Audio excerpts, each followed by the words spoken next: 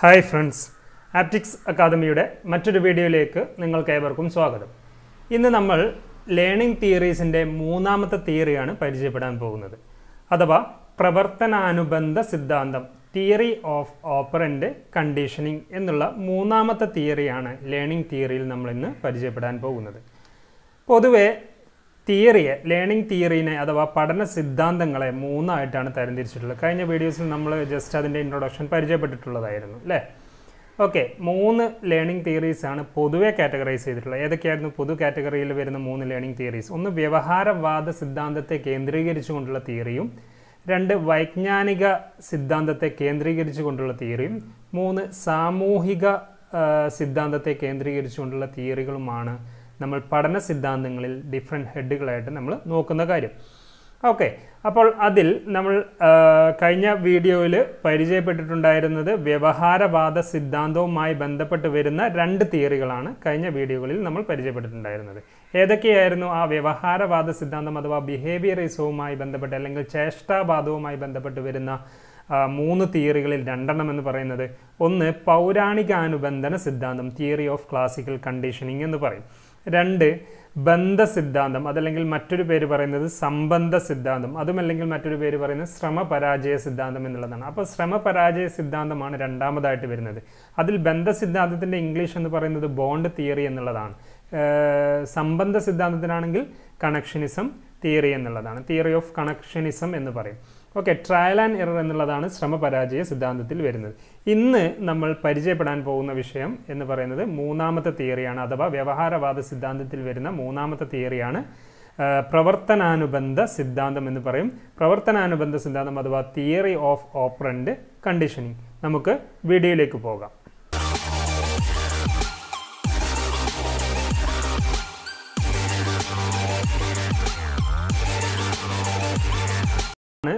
പ്രവർത്തനാനുബന്ധ സിദ്ധാന്തം അഥവാ theory of operant conditioning ഈ തിയറി ഓഫ് ഓപ്പറന്റ് കണ്ടീഷനിങ്ങിന്റെ ഉപജ്ഞാതാവ് ആരായിരുന്നു? ബി എഫ് സ്കിന്നർ അഥവാ ബി ഫ്രെഡറിക് സ്കിന്നർ എന്നുള്ളതാണ് ഇതിന്റെ ഉപജ്ഞാതാവായിട്ട് അറിയപ്പെടുന്ന വ്യക്തി.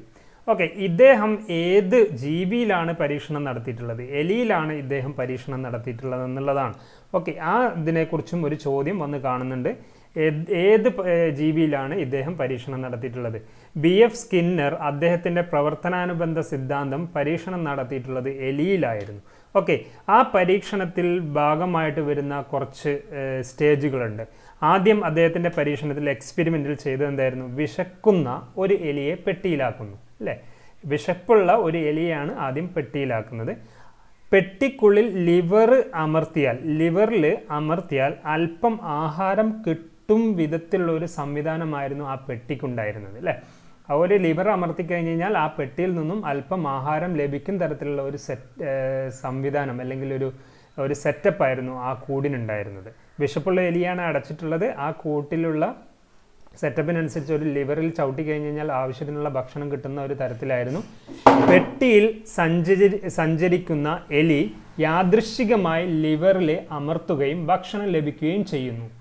അതാണ് അവിടെ സ്വാഭാവികമായിട്ടും നടക്കുന്നത്. ഫസ്റ്റ് സ്റ്റേജിലൊക്കെ പെട്ടിയിൽ സഞ്ചരിക്കുന്ന എലി യാദൃശ്ചികമായിട്ട് ലിവറിൽ അമർത്തുകയും പിന്നെ അപ്പം തന്നെ ഭക്ഷണം ലഭിക്കുകയുമായിരുന്നു ചെയ്തുകൊണ്ടിരുന്നത്. യാദൃശ്ചികമായിട്ട് ആക്സിഡന്റലിയാണ് എന്ത് ചെയ്യുന്നത്? ആ എലിക്ക് ലഭിക്കുന്നത്.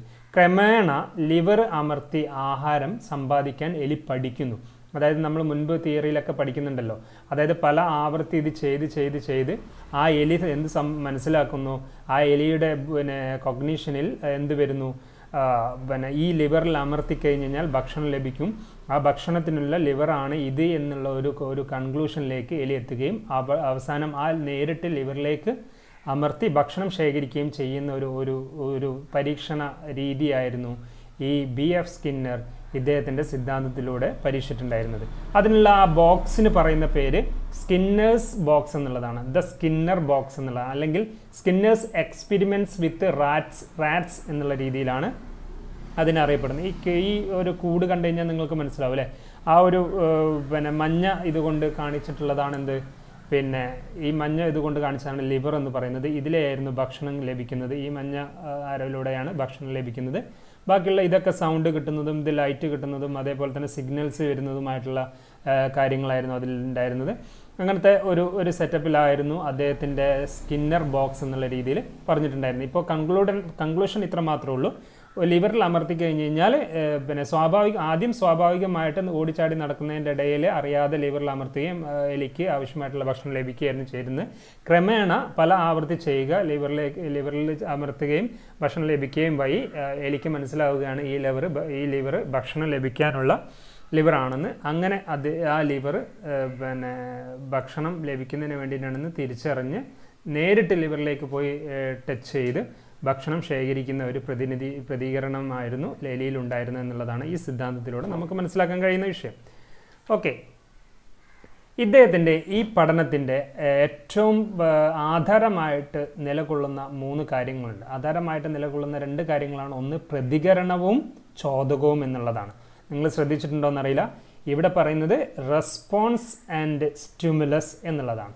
മൂന്നാമതായിട്ട് വരുന്ന എന്താണ്? പ്രതികരണത്തിലെ പ്രബലനം എന്നുള്ളതാണ്. പ്രബലനം. പ്രതികരണത്തിലെ പ്രബലനം.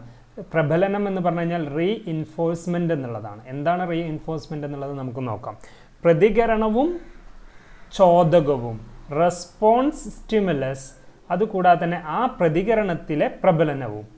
ഈ മൂന്ന് കാര്യങ്ങളാണ് ഇദ്ദേഹത്തിന്റെ പഠനത്തിന്റെ ഏറ്റവും പ്രധാനപ്പെട്ട ആധാരമായിട്ട് അല്ലെങ്കിൽ അടിസ്ഥാനമായിട്ട് കണക്കാക്കുന്നത്. ഇദ്ദേഹത്തിന്റെ ഒരു ചിന്താഗതി എങ്ങനെയായിരുന്നു? ചോദകമില്ലെങ്കിൽ പ്രതികരണം ഇല്ല എന്ന സിദ്ധാന്തത്തെ അദ്ദേഹം എതിർ എതിർക്കുകയാണ് ചെയ്തിട്ടുണ്ടായിരുന്നത്. അല്ലെങ്കിൽ അത് അംഗീകരിച്ചിട്ടില്ല. ചോദക ചോദക പ്രതികരണം എന്നുള്ളതാണല്ലോ യഥാർത്ഥത്തിൽ വ്യവഹാരവാദത്തിന്റെ ഒരു ചിന്താഗതി വന്നിട്ടുണ്ടായിരുന്നത്. മറ്റ് രണ്ട് തിയറികളിലും പറഞ്ഞിട്ടുണ്ടായിരുന്നത് ചോദക പ്രതികരണം എന്നുള്ളതാണല്ലോ. ചോദകത്തിനനുസരിച്ചാണ് പ്രതികരണം നടക്കുന്നത് എന്നുള്ളതാണല്ലോ കഴിഞ്ഞ രണ്ട് തിയറീസിൽ നമ്മൾ വ്യ- വ്യക്തമാക്കിയിട്ടുണ്ടായിരുന്നത് പക്ഷേ ഈ ബി എഫ് സ്കിന്നർ വ്യക്തമാക്കുന്ന കാര്യം എന്താണ്? നേരെ ഓപ്പോസിറ്റാണ്. എങ്ങനെയാണ് ഓപ്പോസിറ്റ് എന്ന് പറഞ്ഞു കഴിഞ്ഞാൽ ഇദ്ദേഹം എസ് ആർ സമവാക്യത്തെ ആർ എസ് സമവാക്യം മാറ്റി ആക്കി മാറ്റുകയാണ് ഇദ്ദേഹം ചെയ്തിട്ടുണ്ടായിരുന്നത്. എസ് ആർ എന്ന് പറഞ്ഞു കഴിഞ്ഞാൽ സ്റ്റിമുലസ് റെസ്പോൺസ് അസോസിയേഷനെ നേരെ റെസ്പോൺസ് സ്റ്റിമുലസ് അസോസിയേഷൻ ആക്കി മാറ്റുകയാണ് ഇദ്ദേഹത്തിന്റെ സിദ്ധാന്തത്തിലൂടെ ചെയ്തത്. അപ്പോൾ റെസ്പോൺസിനാണ് അദ്ദേഹം ഇമ്പോർട്ടൻസ് നൽകുന്നത് എന്നുള്ളതാണ് ഈ തിയറി പ്രകാരം അദ്ദേഹത്തിന്റെ തിയറി പ്രകാരം നമ്മൾ മനസ്സിലാക്കേണ്ടത്. അപ്പോൾ അദ്ദേഹത്തിന്റെ തിയറി പ്രകാരം ഏറ്റവും കേന്ദ്ര ബിന്ദു എന്ന് പറഞ്ഞു നിൽക്കുന്നത് പ്രബലനത്തിനാണ്. പ്രബലനത്തിനാണ് അഥവാ പ്രബലനം എന്ന് പറഞ്ഞു കഴിഞ്ഞാൽ റീ എൻഫോഴ്സ്മെന്റ് ഏറ്റവും ഈ ഇദ്ദേഹത്തിന്റെ സിദ്ധാന്തത്തിന് കേന്ദ്ര ബിന്ദു എന്ന് പറഞ്ഞു കഴിഞ്ഞാൽ ഏറ്റവും പ്രാധാന്യമുള്ള അല്ലെങ്കിൽ സെൻട്രലൈസ് ചെയ്ത് നിൽക്കുന്ന ഒരു വസ്തുത എന്ന് പറയുന്നത് പ്രബലനമാണ് അഥവാ റീ എൻഫോഴ്സ്മെന്റ് എന്നുള്ളതാണ്. അതുകൊണ്ട് തന്നെ ഈ സിദ്ധാന്തത്തിന് പ്രതിഫലന സിദ്ധാന്തം എന്നുള്ളതാണ് പറയുന്നത്. റീ എൻഫോഴ്സ്മെന്റ് തിയറി എന്നുകൂടി എന്തിന് പറയുന്നുണ്ട്? പ്രവർത്തനാനുബന്ധ സിദ്ധാന്തം അഥവാ തിയറി ഓഫ് ഓപ്പറന്റ് കണ്ടീഷൻ മറ്റൊരു പേരും കൂടി പറയുന്നുണ്ട്. എന്താണ്? പ്രതിഫലന സിദ്ധാന്തം അഥവാ റീ എൻഫോഴ്സ്മെന്റ് തിയറി എന്ന് കൂടി ഇദ്ദേഹത്തിന്റെ സിദ്ധാന്തത്തിന് പറയുന്നുണ്ട് എന്നുള്ളതാണ്. അപ്പോൾ എന്താണ് പ്രബലനം എന്നുള്ളതാണ് നമ്മളൊന്ന് നോക്കുന്നത്. എന്താണ് പ്രബലനം എന്ന് പറഞ്ഞാൽ ലക്ഷ്യമാക്കുന്ന പ്രതികരണത്തെ പ്രോത്സാഹിപ്പിക്കാൻ നൽകുന്ന ഏതൊന്ന് എന്തൊന്ന്. അതാണ് എന്തെന്ന് പറയുന്നത് പ്രബലനം. നമ്മളൊരു ഉദ്ദേശം വെക്കുന്നു. ആ ഉദ്ദേശത്തിനുള്ള പ്രതികരണത്തെ പ്രോത്സാഹിപ്പിക്കാൻ. എന്താണ് ഒരു കാര്യം ചെയ്യിപ്പിക്കാൻ ഉദ്ദേശിക്കുന്നത്? ആ ചെയ്യിപ്പിക്കാൻ ഉദ്ദേശിക്കുന്ന കാര്യത്തെ പ്രോഹ പ്രോത്സാഹിപ്പിക്കാൻ വേണ്ടി അതിനൊരു പ്രതികരണം കിട്ടാൻ വേണ്ടിയിട്ട് പ്രോത്സാഹനം നൽകുന്ന ഏതൊരു കാര്യമാണ് അതെല്ലാം ഏതിൽ വരും? പ്രബലനത്തിൽ വരും അഥവാ റീ എൻഫോഴ്സ്മെന്റിൽ വരും. അഥവാ സമയോചിതമായി നൽകിയാൽ കൂടുതൽ ഫലപ്രദമാകുന്നതാണ് പ്രബലനം എന്നുള്ള രീതിയിലും കൂടി നമ്മളോട് ഒരു സ്റ്റേറ്റ്മെന്റ് ആയിട്ട് ചോദ്യം വന്നിട്ടുണ്ട് അതായത് സമയോചിതമായി നൽകിയാൽ കൂടുതൽ ഫലപ്രദമാകുന്നത് ആണ് ഓപ്ഷൻസും പറഞ്ഞിട്ട് ഇങ്ങനെ പറയണം. അപ്പോൾ അതിൽ നമുക്ക് കണ്ടെത്താൻ കഴിയുന്ന എന്താണ്? പ്രബലനമാണ്. പ്രബലനം എന്ന് പറഞ്ഞാൽ റീ എൻഫോഴ്സ്മെന്റ് എന്നുള്ളതാണ്.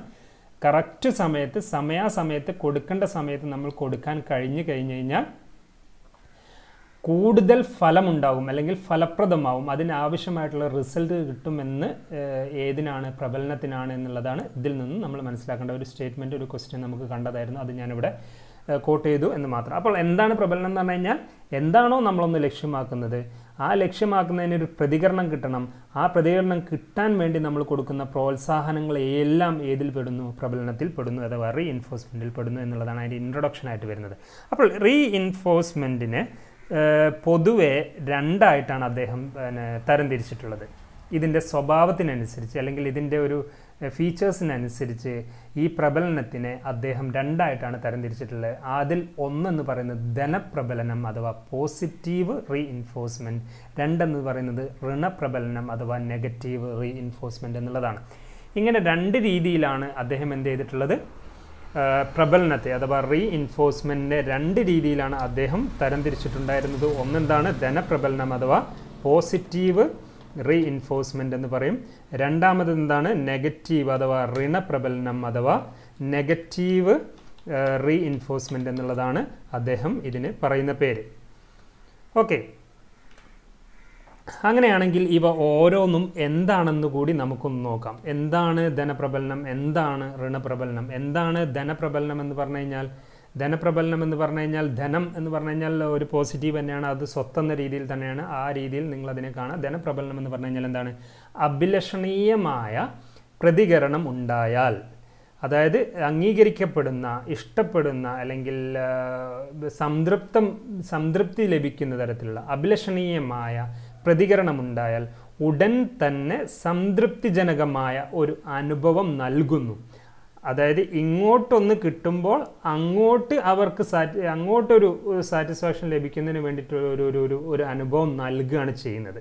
ഓക്കെ അതായത് അഭിലഷണീയമായ പ്രതികരണം ഉണ്ടായാൽ ഇങ്ങോട്ടൊരു അഭിലഷണീയമായ ഒരു പ്രതികരണം ഉണ്ടായാൽ ഉടൻ തന്നെ അങ്ങോട്ട് ഉടൻ തന്നെ അങ്ങോട്ട് സംതൃപ്തിജനകമായ ഒരു അനുഭവം നൽകുന്നു. അതിനെയാണ് എന്തെന്ന് പറയുന്നത്? ധനപ്രബലനം എന്ന് പറയുന്നത്. എക്സാമ്പിൾ എന്താണ്? ഇങ്ങോട്ട് എന്തെങ്കിലും ഒന്ന് കിട്ടിക്കഴിഞ്ഞ് കഴിഞ്ഞാൽ അങ്ങോട്ട് എന്ത് ചെയ്യുന്നു? പ്രശംസ നൽകുന്നു. അങ്ങോട്ട് അധ്യാപകർ പുഞ്ചിരിക്കുന്നു. ഓക്കെ അല്ലെങ്കിൽ സ്നേഹപൂർവമുള്ള തലോടലുകൾ നൽകുന്നു എന്നിവ കുട്ടികളിൽ ശരിയായ കാര്യങ്ങൾ ആവർത്തിച്ചു ചെയ്യാൻ പ്രോത്സാഹിപ്പിക്കുന്നു എന്നുള്ളതാണ് എക്സാമ്പിളായിട്ട് എടുത്ത് പറയുന്നത്. നിങ്ങൾ ധനപ്രബലനം എന്താണെന്നുള്ളത് വളരെ വ്യക്തമായിട്ട് മനസ്സിലായിട്ടുണ്ടാവുമെന്ന് കരുതുന്നു. മൂന്നാമത് രണ്ടാമതായിട്ട് പറയുന്ന കാര്യമാണ് എന്താണ്? ഋണ ഋണപ്രബലനം അഥവാ നെഗറ്റീവ് റീ എൻഫോഴ്സ്മെന്റ് എന്ന് പറയും. അസ്വാസ്ഥ്യജനകമായ അസ്വസ്ഥ ജനിപ്പിക്കുന്ന അസ്വാസ്ഥ്യജനകമായ ഒരു ചോദകം കുറേ നേരത്തേക്ക് തടഞ്ഞു വെക്കുകയോ പിൻവലിക്കുകയോ ചെയ്യുന്നത് മൂലം ഒരു പ്രതികരണം ആവർത്തിക്കാൻ സഹായകമാകുന്നതിനെയാണ് എന്തെന്ന് പറയുന്നത് ഋണപ്രബലനം അഥവാ അസ്വസ്ഥജനകമായിട്ടുള്ള ഒരു ചോദകം കുറേ നേരത്തേക്ക് തടഞ്ഞു നിർത്തണം. ഓക്കെ അല്ലെങ്കിൽ അത് പിൻവലിക്കണം. അതിന് വേണ്ടിയിട്ട് അത് ചെയ്യുന്നത് മൂലം ഒരു പ്രതികരണം ആവർത്തിക്കാൻ സഹായകമാകുന്നതിനെയാണ് എന്തെന്ന് പറയുന്നത്? ഋണപ്രബലം ഒന്ന് നമ്മൾ എക്സാമ്പിളിലൂടെ നോക്കാം. ഒരു ക്ലാസ്സിൽ ആവർത്തന അഭ്യാസങ്ങൾ നന്നായി ചെയ്യുന്ന കുട്ടികളെ ഇമ്പോസിഷനിൽ നിന്നും ഒഴിവാക്കാമെന്ന് അധ്യാപിക അല്ലെങ്കിൽ അധ്യാപകൻ പറയുമ്പോൾ ചിട്ടയായ അഭ്യാസ പാഠങ്ങൾ ചെയ്യുക എന്ന നല്ല ശീലം വളരുന്നതിന് ഋണപ്രബലനമാണ്. എന്താ അതിന് മനസ്സിലാക്കുന്നത്? വളരുന്നതിന് ഋണപ്രബലനമാണ്. എന്താ അതിൽ നിന്ന് മനസ്സിലാക്കുന്നത്? കുട്ടി എന്ത് പ്രതീക്ഷിച്ചിട്ടാണ് ആ ഒരു ചിട്ടയായ അഭ്യാസ പാഠങ്ങൾ ചെയ്യുന്നത്? ചിട്ടയായിട്ടുള്ള അഭ്യാസ പാഠങ്ങൾ ചെയ്യിപ്പിക്കാൻ വേണ്ടിയിട്ടാണ് നമ്മൾ എന്ത് പറയുന്നത്? ഇമ്പോസിഷൻ കിട്ടും. നിങ്ങൾക്ക് നിങ്ങളിത് ചെയ്തിട്ടില്ലെങ്കിൽ ഇമ്പോസിഷൻ കിട്ടും എന്ന് പറയുമ്പോൾ ആ കുട്ടി അതിനെ കേന്ദ്രീകരിച്ചുകൊണ്ട് എന്തായാലും എഴുതേണ്ടി വരും. അതിനേക്കാൾ നല്ലത് നന്നായിട്ടിരുന്ന് പഠിക്കുകയല്ലേ എന്ന ഒരു സെൻസിലായിരിക്കും എന്ത് ചെയ്യുക? ആ ഇമ്പോസിഷനെ ഓവർകം ചെയ്യാൻ വേണ്ടി ഇമ്പോസിഷൻ വരാതിരിക്കാൻ വേണ്ടിയിട്ട് എന്ത് ചെയ്യുന്നു? ചിട്ടയായിട്ടുള്ള അഭ്യാസ പാഠങ്ങളിൽ പാഠങ്ങൾ ചെയ്യുന്നു എന്ന നല്ല ശീലം വളർത്തുന്നത് ഏതിലൂടെയാണ്? ഋണപ്രബലനത്തിലൂടെയാണ്. നെഗറ്റീവ് പ്രബലനം അഥവാ നെഗറ്റീവ് റീ എൻഫോഴ്സ്മെന്റ് എന്ന് പറഞ്ഞു കഴിഞ്ഞാൽ ഒന്നും കൂടി വ്യക്തമാക്കി പറഞ്ഞു കഴിഞ്ഞാൽ ഒരു ഒരു റീ എൻഫോഴ്സ്മെന്റ് കൊടുക്കുന്നു അതൊരു പണിഷ്മെന്റ് രൂപത്തിലല്ല. പണിഷ്മെന്റ് അല്ല എന്നാൽ അതൊരു നെഗറ്റീവാണ് ആ വ്യക്തിക്ക് അതിൽ ഗുണം ലഭിക്കുന്നു. എന്നാലോ അതൊരു നെഗറ്റീവുമാണ് ആ വ്യക്തിക്ക് ഗുണം ലഭിക്കുന്ന തരത്തിലുള്ള ഒരു റീ എൻഫോഴ്സ്മെന്റ് കൊടുക്കുന്നതിനെയാണെന്ന് പറയുന്നത്? ഋണപ്രബലനം അഥവാ പിന്നെ നെഗറ്റീവ് റീഇൻഫോഴ്സ്മെന്റ് എന്ന് പറയുന്നത്. ഓക്കെ അടുത്തതായിട്ട് ഇദ്ദേഹം ഈ നെഗറ്റീവ് റീഇൻഫോഴ്സ്മെന്റ് പോസിറ്റീവ് റീഇൻഫോഴ്സ്മെന്റ് അത് ഉൾപ്പെടുത്തിക്കൊണ്ട് മറ്റു രണ്ട് ആശയങ്ങളും കൂടി അദ്ദേഹം മെൻഷൻ ചെയ്തിട്ടുണ്ട്. ആ രണ്ട് ആശയങ്ങൾ എന്താണെന്നും കൂടിയാണ് നമ്മൾ ഈ ഒരു ഏരിയയിൽ നമ്മൾ പ്രധാനമായിട്ട് മനസ്സിലാക്കേണ്ടത്. എന്തൊക്കെയാണ് ആ രണ്ട് ആശയങ്ങൾ എന്ന് പറയുന്നത്? ഒന്ന് സമ്മാനവും ധനപ്രബലനവും. അഥവാ ഗിഫ്റ്റ്സ് ആൻഡ് പോസിറ്റീവ് റീഇൻഫോഴ്സ്മെന്റ് എന്ന് പറയും. സമ്മാനം എന്നുള്ളത് നിങ്ങൾക്കറിയാം. പിന്നെ ധനപ്രബലനം അഥവാ പോസിറ്റീവ് റീഇൻഫോഴ്സ്മെന്റ് എന്നുള്ളതും നിങ്ങൾക്കറിയാം. സമ്മാനം എന്താണെന്നുള്ളത്? രണ്ടാമതായിട്ട് വരുന്നത് എന്താണ്? ശിക്ഷയും ഋണപ്രബലനയും അഥവാ പണിഷ്മെന്റ് ആൻഡ് നെഗറ്റീവ് റീഇൻഫോഴ്സ്മെന്റ് എന്ന് പറയും. എന്താണ് സമ്മാനം എന്ന് പറഞ്ഞു കഴിഞ്ഞാൽ? തൃപ്തികരമായ രീതിയിൽ പ്രവർത്തനം പൂർത്തിയാക്കിയതിന് ശേഷം നൽകുന്നതിനെയാണ് നൽകുന്ന ഏതെന്ത്? അതാണ് എന്തെന്ന് പറയുന്നത്? സമ്മാനങ്ങൾ എന്ന് പറയുന്നത്. ഏറ്റവും നല്ല തരത്തിലുള്ള ഒരു പ്രബലന രീതിയാണ് ഏതെന്ന് പറയുന്നത്? സമ്മാനവും ധനപ്രബലനവും എന്ന് പറയുന്നത്. ഏറ്റവും നല്ല രീതിയിൽ കൊടുക്കുന്നതിനെയാണെന്ന് ഏറ്റവും നല്ല രീതിയിലുള്ള ഒരു പ്രബലനമാണ് ഇതെന്ന് പറയുന്നത്? സമ്മാനം നൽകുക അല്ലെങ്കിൽ ധനപ്രബലനം നൽകുക. സമ്മാനം നൽകുക എന്നുള്ളതാണ് ഏറ്റവും നല്ല പ്രബലനം. തൃപ്തികരമായ രീതിയിൽ പ്രവർത്തനം പൂർത്തിയാക്കുന്ന പൂർത്തിയാക്കിയതിന് ശേഷം നൽകുന്ന അതിനെയാണെന്ന് പറയുന്നത് സമ്മാനം അല്ലെങ്കിൽ ധനപ്രബലനം എന്ന് പറയുന്നത് പോസിറ്റീവ് റീഇൻഫോഴ്സ്മെന്റ് എന്ന് പറയുന്നത്. എന്നാൽ ഇത് രണ്ട് മറ്റു രീതിയിൽ നേരത്തെ പറഞ്ഞ അതേ സാധനം തന്നെയാണ്. എന്നിരുന്നാൽ കൂടി മറ്റു രണ്ട് രീതിയിലാണ് രണ്ട് ആശയങ്ങളാണ് ഇദ്ദേഹം വ്യക്തമാക്കിയിട്ടുള്ളത്. മറ്റൊന്നാണ് എന്താണ് ശിക്ഷയും ഋണപ്രബലനവും അഥവാ പണിഷ്മെന്റ് ആൻഡ് നെഗറ്റീവ് റീഇൻഫോഴ്സ്മെന്റ് എന്ന് പറയുന്നത്. വേദനാജനകമായ അനുഭവം നൽകുന്നതിനെയാണ് എന്തെന്ന് പറയുന്നത് ശിക്ഷ എന്ന് പറയുന്നത്. വേദനാജനകമായ അനുഭവം നൽകുന്നതിന് ശിക്ഷ എന്ന് പറയും. ഋണപ്രബലനം അഥവാ നെഗറ്റീവ് റീഇൻഫോഴ്സ്മെന്റ് എന്ന് പറഞ്ഞു കഴിഞ്ഞാൽ എന്താണ്? ഈ നെഗറ്റീവ് റീഇൻഫോഴ്സ്മെന്റ് ഒരു വ്യക്തിക്ക് കൊടുക്കുമ്പോൾ അതിൽ ബെനിഫിറ്റ് ആ വ്യക്തിക്ക് ലഭിക്കുന്നുണ്ട്. ഓക്കെ അത് പണിഷ്മെന്റ് പോലെ ആണെങ്കിൽ കൂടിയും ആ വ്യക്തിക്ക് അതിൽ ബെനിഫിറ്റ് ലഭിക്കുന്നു. ശിക്ഷയിൽ എന്തില്ല? ബെനിഫിറ്റ് ലഭിക്കുന്നില്ല. ആ വ്യക്തിക്ക് ബെനിഫിറ്റ് ലഭിക്കുന്നില്ല. ഇമ്പോഷൻ കൊടുക്കുക വഴി എന്താ കുട്ടിക്ക് ലഭിക്കുന്നത്? ആ പഠിപ്പിക്കുന്ന കാര്യങ്ങൾ പഠിക്കുകയും ചെയ്യും. ആ കുട്ടിക്ക് അതിന്റേതായിട്ടുള്ള ഒരു പണിഷ്മെന്റ് രീതി തോന്നുകയും ചെയ്യും. കുട്ടിക്ക് തന്നെയാണ് അതിന്റെ എന്ത് ചെയ്യുന്നത്? ബെനിഫിറ്റ് ലഭിക്കുന്നത്. ശിക്ഷയിൽ എന്തില്ല? കുട്ടിക്ക് ബെനിഫിറ്റ് ലഭിക്കുന്നില്ല എന്നുള്ളതാണ്. ശിക്ഷയും ഋണപ്രബലനവും തമ്മിലുള്ള ഒരു ബന്ധത്തിൽ എടുത്തു പറയാൻ കഴിയുന്ന ഒരു കാര്യം. ഓക്കെ അപ്പോൾ ഇതിൽ മറ്റൊരു ഒരു പോയിന്റ് കൂടി നമ്മൾ മെൻഷൻ ചെയ്യേണ്ടതായിട്ടുണ്ട്. ഓപ്പറന്റ് അഥവാ പിന്നെ ഈ തിയറിയുമായി ബന്ധപ്പെട്ട് വരുന്ന ഒരു വേർഡാണ് ഓപ്പറന്റ് ഓപ്പറന്റ് എന്ന് പറഞ്ഞു കഴിഞ്ഞാൽ പ്രവർത്തനവുമായി ബന്ധപ്പെട്ട് വരുന്നതിനെയാണ് ഓപ്പറന്റ് എന്ന് പറയുന്നത്. പ്രവർത്തികളെയാണ് ഓപ്പറന്റ് എന്ന് പറയുന്നത്. ഓപ്പറേഷൻസ് എന്നൊക്കെ നമ്മൾ കേൾക്കാറില്ലേ? ഓപ്പറന്റ് എന്ന് പറയുന്നത്. എന്താണ് ഈ ഓപ്പറന്റ് എന്ന രീതിയിൽ നമ്മളോട് ചോദിക്കുന്ന ചോദ്യം? ഏതെങ്കിലും ഒരു പ്രവൃത്തിയിൽ ഏർപ്പെടുന്ന വ്യക്തിയെ അതുമായി ബന്ധപ്പെട്ട അനുബന്ധനത്തിന് വിധേയമാക്കുന്ന പ്രവർത്തികളാണ് എന്തെന്ന് പറയുന്നത്? ഓപ്പറന്റ് എന്ന് പറയുന്നത്. അഥവാ പ്രവർത്തനാനുബന്ധ പ്രക്രിയയിൽ പ്രബലനം വഴി പരിവർത്തനം ചെയ്യപ്പെടുന്നതിനെയാണ് എന്തെന്ന് പറയുന്നത്? ഓപ്പറന്റ് എന്ന് പറയുന്നത്. എന്താണ് ഓപ്പറന്റുമായി നമ്മൾ മനസ്സിലാക്കേണ്ടതായിട്ട് വരുന്നത്? ഓപ്പറന്റ് എന്ന് പറഞ്ഞു കഴിഞ്ഞാൽ ഏതെങ്കിലും ഒരു വ്യക്തി പ്രവൃത്തിയിൽ ഏർപ്പെടുന്ന വ്യക്തി. ഏതെങ്കിലും ഒരു പ്രവൃത്തി എന്ന് പറഞ്ഞു കഴിഞ്ഞാൽ ഇവിടെ എലിയുടെ കാര്യമായിട്ട് എടുത്തു നോക്കിക്കഴിഞ്ഞാൽ എന്താണ്? എലി ഭക്ഷണം കിട്ടാൻ വേണ്ടിയിട്ട് ഒരു പ്രവൃത്തി നടത്തിക്കൊണ്ടിരിക്കുകയാണ്. ആ പ്രവൃത്തി നടത്തിക്കൊണ്ടിരുന്നപ്പോൾ പിന്നെ അതുമായി ബന്ധപ്പെട്ട അനുബന്ധനത്തിന് അഥവാ കണ്ടീഷനിങ് വരികയാണല്ലോ. അത് കുറച്ച് കഴിഞ്ഞ് കഴിഞ്ഞാൽ ആ ഓടിച്ചാടി നടന്ന് കുറേ പ്രാവശ്യം അത് ചെയ്ത് ആ ലിവർ വഴി ഭക്ഷണം ലഭിക്കുകയാണെന്ന് ലിവറിൽ ടച്ച് ചെയ്ത് കഴിഞ്ഞാൽ ഭക്ഷണം ലഭിക്കുകയാണെന്നുള്ള ഒരു ആ ഒരു വസ്തുതയാണെന്ന് പറയുന്നത് അനുബന്ധനം എന്ന് പറയുന്നത് അഥവാ കണ്ടീഷൻ ചെയ്യുക എന്ന് പറയുന്നത്. ആ ലിവറാണ് അവിടെ എന്ത് ചെയ്യുന്നത്? കണ്ടീഷൻ ചെയ്യപ്പെടുന്നത്. അഥവാ പിന്നെ കൃത്രിമ ചോദകം എന്ന് പറയുന്നത് ഏതാണ്? ആ ലിവറിനെയാണ്. അപ്പോൾ ഏതെങ്കിലും ഒരു പ്രവൃത്തിയിൽ ഏർപ്പെടുന്ന വ്യക്തി അഥവാ ആ ഒരു എലിനെ സംബന്ധിച്ച് വരുമ്പോൾ ആ എലി ഓടിച്ചാടി നടന്ന് കുറേ പല ആവർത്തി അത് ചെയ്തിട്ട് ആ ലിവറിൽ തട്ടി ഭക്ഷണം സ്വീകരിച്ച് വരുമ്പോൾ ആ ലിവറിൽ തട്ടിയാൽ അത് ഭക്ഷണം സ്വീകരിക്കാനാണ് എന്ന് മനസ്സിലാക്കി കണ്ടീഷൻ ഉണ്ടാവുന്നു അല്ലെങ്കിൽ അനുബന്ധന ഇതാവുന്നു. വിധേയമാകുന്ന പ്രവൃത്തികൾ അതിന് വിധേയമാകുന്ന പ്രവൃത്തികൾ എന്ന് പറയുന്നത് എന്താണ്? ലിവറിൽ ലിവറിൽ ടച്ച് ചെയ്യുക എന്നുള്ള പ്രവൃത്തി. ഓക്കെ ലിവറിൽ ടച്ച് ചെയ്യുക അല്ലെങ്കിൽ ലിവറിൽ ടച്ച് ചെയ്യാൻ വേണ്ടി എടുക്കുന്ന എഫേർട്ട് അല്ലെങ്കിൽ അതിനുള്ള ചിന്ത അല്ലെങ്കിൽ അതിനുള്ള വിധേയത്വം ഇങ്ങനത്തെ കാര്യങ്ങളെ ആ ഒരു പ്രവൃത്തികളെയാണ് എന്തെന്ന് പറയുന്നത്? ഓപ്പറന്റ് എന്ന് പറയുന്നത്. ഏതെങ്കിലും ഒരു പ്രവൃത്തിയിൽ ഏർപ്പെടുന്ന വ്യക്തിയെ അതുമായി ബന്ധപ്പെട്ട അനുബന്ധനത്തിന് അനുബന്ധനം എന്ന് പറയുന്നത് ലിവറാണ് ഇവിടെ അനുബന്ധനമായിട്ട് നിൽക്കുന്നത്. ആ ലിവറിൽ ടച്ച് ചെയ്ത് കഴിഞ്ഞ് കഴിഞ്ഞാൽ ഭക്ഷണം കിട്ടുന്നു എന്നുള്ളത്. വിധേയമാക്കുന്ന അനുബന്ധനത്തിന് വിധേയമാക്കുന്ന പ്രവൃത്തികളാണ് എന്തെന്ന് പറയുന്നത്?